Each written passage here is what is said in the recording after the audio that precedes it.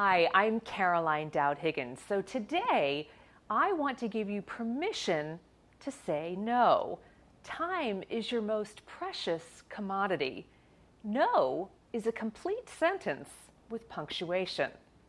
Protect your time and honor yourself. It's okay to say no. Enjoy your career. Love your life.